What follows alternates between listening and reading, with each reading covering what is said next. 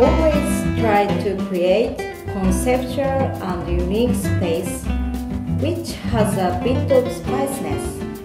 So my artworks, I'd like to express my original philosophy out using gimmicks, vintage painting, and coloring makes a space outstanding, which attract a lot of people and which is enjoyable for children to elders.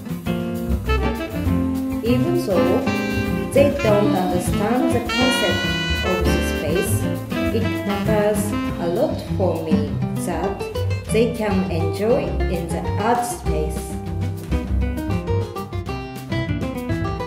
I'm Ryoko Koharazawa. I'm spatial artist in Queens.